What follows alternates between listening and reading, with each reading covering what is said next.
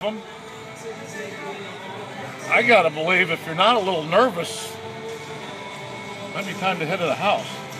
I think it gets gets off of you quick.